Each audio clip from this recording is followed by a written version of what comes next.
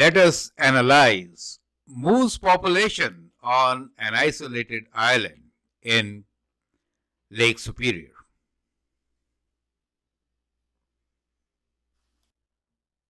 I am Anil Kumar. Welcome to my YouTube channel and the website Global Math Institute. In this video, we have taken a very important example for curve sketching. It is a real life situation where the population is being modeled in a confined habitat. We are talking about moose population in the Isle of Royale Island. This is an island on the biggest lake here in North America, the Lake Superior. Now, in this island, uh, there are a lot of moose. Wolf moved in a few years ago, and then uh, there was a study on counting the number of wolves and the moose. So, based on that, you'll find many questions in uh, many different places, and many test questions are based on this information. So what I've done here is written my own function, which really does not uh, depict the correct data, but almost. Okay. So the question here is, moose population P on Isle Royale Island T years after 2010 is modeled as P equals to 2500 over 1 plus 4 e to the power of minus 0.1 t. The pictures which you show, which are shown here, are taken by me when I was traveling Nova Scotia. So, so that's the female moose there and the male moose, the biggest antelope on the earth.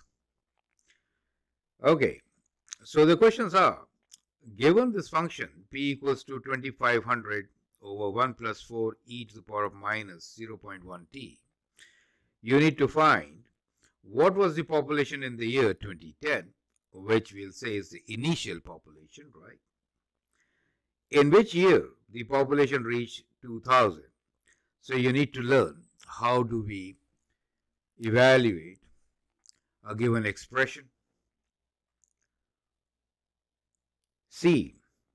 Find the growth rate of the population in the year 2020 so means analyze the first derivative of population function given to us. In which year was the growth rate of population maximum? Now this is very important question. When was the growth rate maximum? So what will you do here? You will analyze the second derivative, right? So that's where many students make a mistake. Uh, and part E is sketch the graph of the function explaining the end behavior. End behavior here is very important since you know we have a confined environment since it's an island, right? So there, uh, what should be the behavior? And this is excellent model for that. So I hope you have understood the question and you appreciate what we're trying to do here. Let's look into the solution of this now. So let's begin with the initial value. Uh, that is uh, simple substitution we are given the population function p as equals to 2500. You might need calculator okay, for some of these calculations, not this one of course, for e to the power of minus 0.1t. What was the population in the year 2010? So study is being done since 2010. So in 2010, the value of t should be 0, correct? Substitute 0 for t, and so what do you get? You get 2500 over 1 plus 4 e to the power of 0. Anything to the power of 0 is known to you is 1, right? So 2500 over 1 plus 4, which is 5. And so now you can calculate the value, which is 2500 over 5. So we get what? 500. So we can say there were about 500 moves in 2010, right? So our answer will be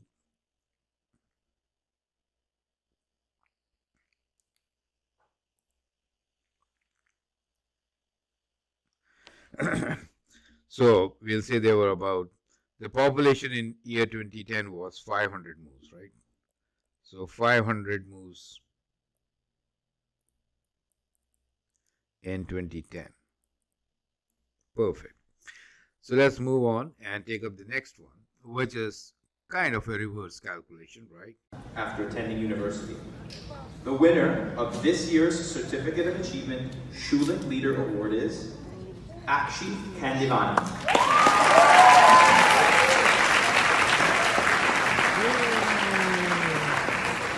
Great. Our student, Akshit, gets highest marks and the most prestigious Schulich Leader Award. You can be there. Join our classes and excel. In which year the population reached 2000? So in 2010 there were only 500. Then when did they reach 2000? That's what we figure out. So that means in the formula, P now becomes 2000, correct? And we need to figure out what is time, T. So 2500 divided by 1 plus 4 e to the power of minus 0.1t, right? To solve this equation, I should cross multiply. Makes sense, right? So we'll have 1 plus 4 e to the power of minus 0.1t should be equal to 2500 divided by 2000, right? So you can simplify this, right? And uh, if you want, you can calculate the value, correct? So 1.25. Now,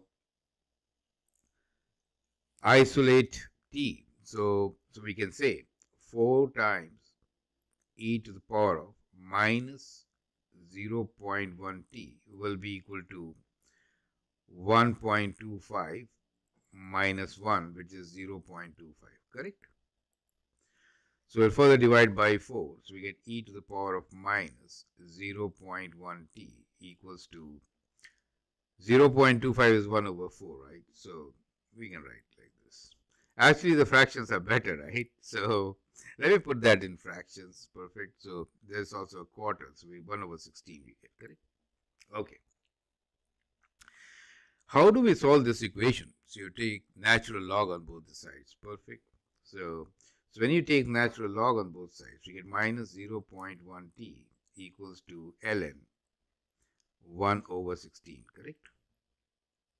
And therefore, t will be equals to ln 1 over 16 divided by minus 0 0.1, right? That gives you uh, t. So let's take a calculator to figure this out. So we get what? We get uh, ln 1 divided by 16 and then we are going to divide this by minus 0 0.1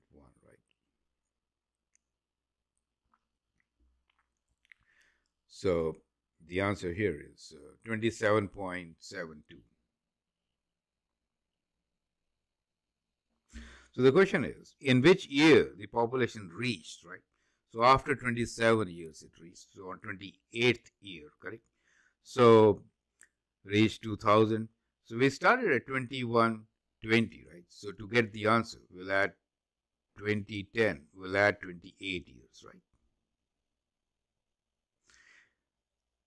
It should not be reach, will reach, it should be right.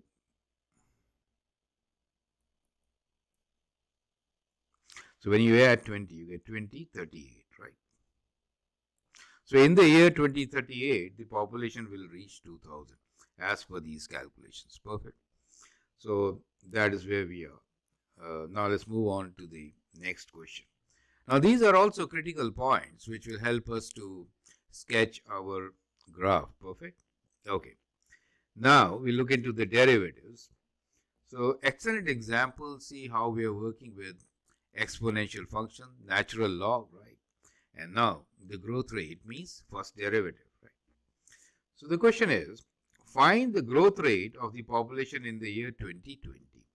So basically we need to find what the derivative of this function is and 2020 means what? t equals to 10, right? So which means t equals to 10, correct? Okay, so let's find the derivative. So dp dt will be, we can write like p prime equals to apply the quotient rule, right? So when you apply the quotient rule, the derivative of 2500 is 0. So we get minus. So, and you could also write, so we get minus 2500 times the derivative of this function. So derivative of this function will be minus 0.1t times 4. So I'm writing here as minus 0.4, right? And e to the power of minus 0.1t. Clear? Right. Divided by 1 plus 4 e to the power of minus 0.1t whole square. Make sense? So we have applied the quotient rule, square of the denominator, derivative of 2500 times this, which is 0, minus 2500 times derivative of this function, right? So derivative of this function will be 4 times minus 0.1t. So I have written uh, minus 0.4, right? 0.1 times 4 e to the power of whatever it was, correct? So that becomes the derivative and now we have to plug in 10 to find the population uh, rate of growth in 2020. So after 10 years, correct? So when you plug in 10, you get what? You get minus 2500. Well, you can multiply these two, right?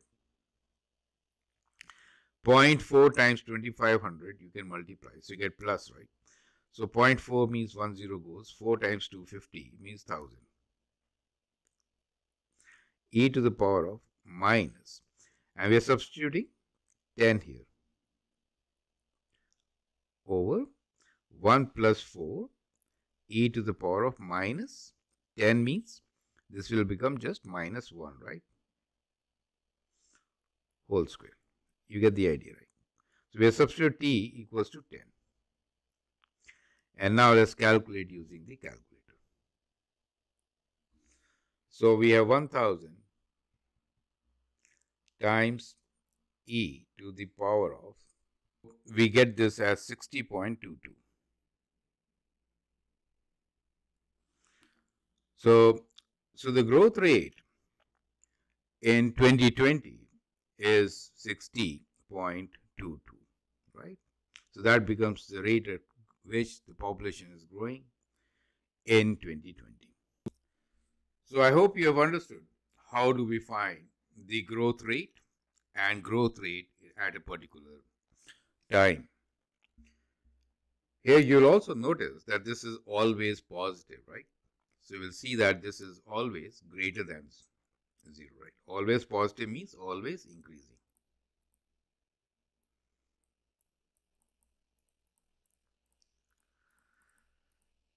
Perfect. Now let's move on and analyze the second derivative, which will actually give us what? Maximum growth rate, right? So we found that the first derivative is, let's rewrite, 1000 e to the power of minus 0.1t over 1 plus 4 e to the power of minus 0.1 t whole square, correct? So that was the first derivative which we just found. And now the question is, in which year was the growth rate population maximum? Growth rate population is maximum means we have to find the second derivative, right? So let's find the second derivative of the population growth. So derivative of the numerator will be what? 1000 times, let's rewrite. So we have 1000 times minus 0.1 times e to the power of minus 0.1 t times the denominator. We are using the quotient rule, right? 0.1 t which is square. So that is the first term. And then second term will be minus 1000 e to the power of minus 0.1 t times the derivative of denominator which is 2 times 1 plus 4 e to the power of minus 0.1t times the derivative of inside function means 4 times this which is minus 0.4 times e to the power of minus 0.1t clear? Then all this will be divided by square of denominator which is 1 plus 4 e to the power of minus 0.1t to the power of 4 clear? So there's less space here so you know it doesn't really look so neat. However it does convey the message right? So you find the second derivative. And now equate this second derivative to 0 because we are interested in finding the critical number. So when you equate to 0, basically we are equating numerator to 0 to get the answer. So let's factor out the common terms, right? So if you look into this, common terms will be what? So let's highlight the common terms. We 1000 can be taken as common times point this, right? e to the power of minus 0.2 can also be taken common, right? So that means I'm taking all this common, correct? And one of these terms. So out of square, one of them. So all this comes common, correct? So let's take common and then we'll equate it to 0. So it's good to take minus also common. So in the first term, minus 1000 times minus 0.1 gives me 100 and I'm taking e to the power of minus 0.1t times 1 plus 4 e to the power of minus 0.1t as common. Correct? So inside we are left with what? Well, we took everything common here. So we are left with this particular term, which is 1 plus 4 e to the power of minus 0.1t. Correct? And in the second term, we get 2 times 4, right? Because point 4 has been taken care of. 2 times 4 is 8.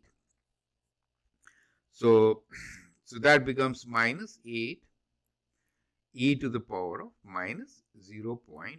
Is that clear to you? Of course, it was divided by 1 plus 4 e to the power of minus 0 0.1 t to the power of 4. But when we are equating to 0, the numerator should be 0. Numerator 0 means this term should be 0, right? So we'll equate this term to 0 now. Correct? So which is uh, 4 e to the power of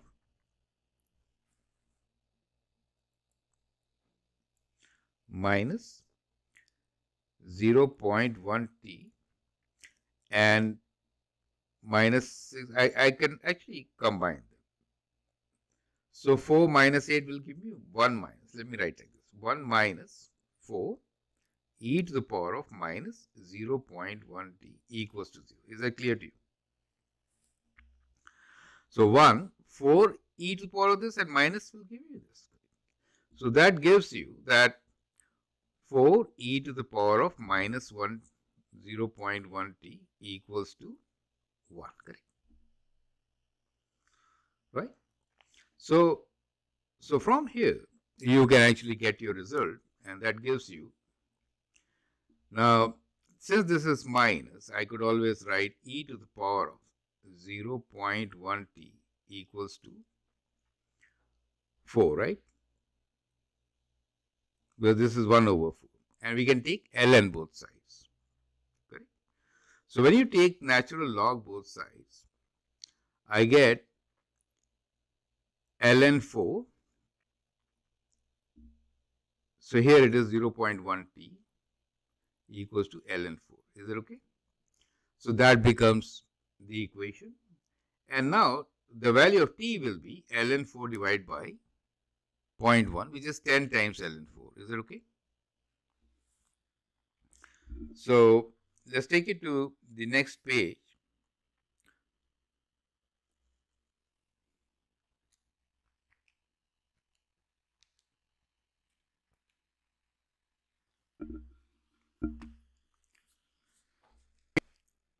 So let me rewrite. So what we have here is 0.1 t equals to 4 ln 4 right? Or t equals to 1 over 0.1 ln 4 which is same as t equals to 10 ln 4 so let's use calculator to find the value of 10 ln 4 it gives you 13.86 correct? So in which year was the growth rate of population maximum? So it is 14 years after right? So maximum growth rate will be?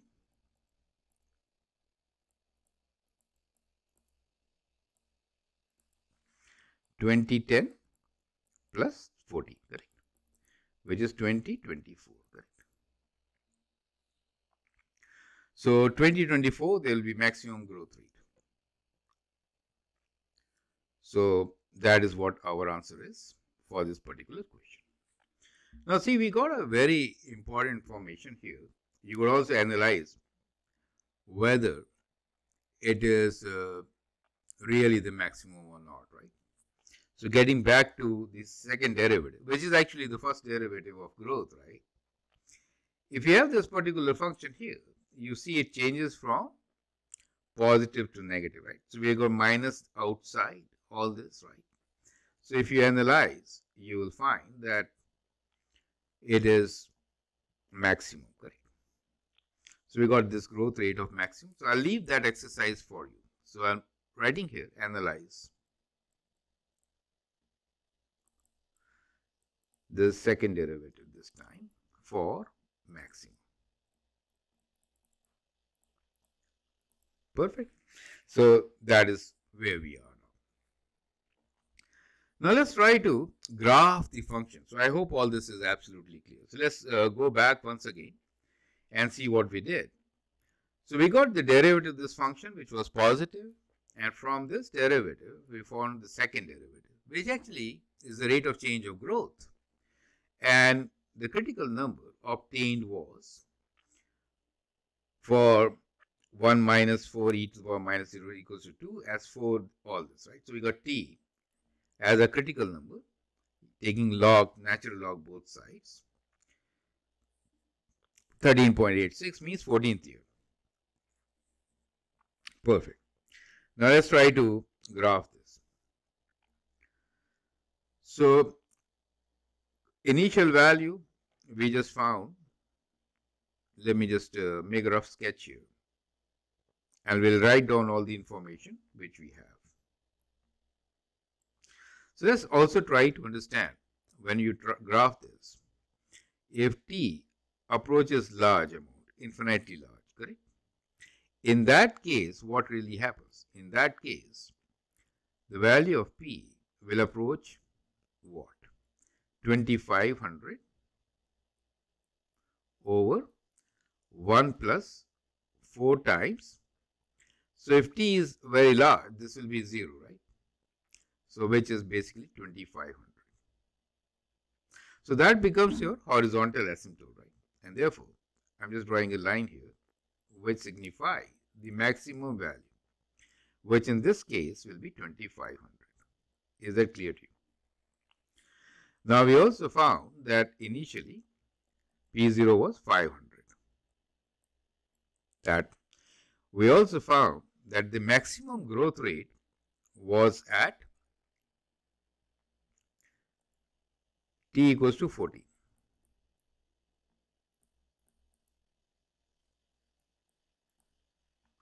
Now maximum growth rate actually gives you change in concavity.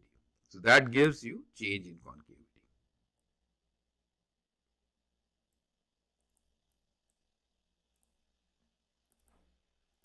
And therefore, the graph could be drawn like this. Do you see that? where this point, which is change in concavity, will be at 13.8. I am writing 14 here. Is that okay?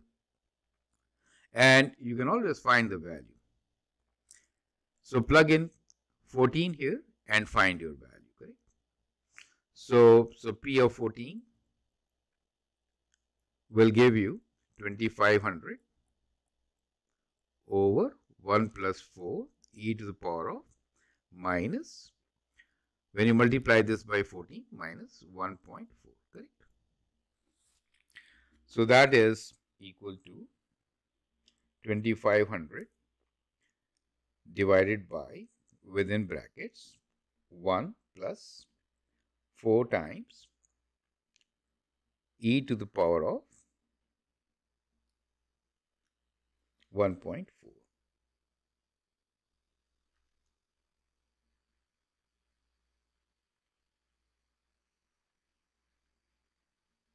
Twelve fifty eight. So at this time, the population is twelve fifty eight. Right? So that is how you could actually graph your information beginning from 500. We had one more value earlier. When is it 2000, right? So population in 2000 was at 2038, right? So after 27 years. So after 27 years, somewhere here, we can say the population was around 2000. Correct? So that will be the graph for you. Perfect. Where this is time in years since 2010. And the other thing is moves population, right? In numbers. So I hope this uh, is absolutely clear. You can see that the graph is always increasing, right? So we know that the derivative is greater than 0, right? It is always increasing, the trend. And that becomes the point of inflection on your function. Perfect. So that is how we could actually solve this particular question. Extremely important from test point of view. You see how we analyze the population of moose in the given confined habitat it rapidly increases initially, and now when the resources are limited, then it like tapers down. It'll taper down to the maximum limit, which is given by the numerator here, 2500 over a period of time. So I hope with this you've understood the complete concept of how to work with such real life situations. Feel free to write your comments and share your views. If you like and subscribe to my videos, it would be great. And in case you want to learn from me, you can always send an email on the address given. Also check our website for the new updates. Thank you and all the best.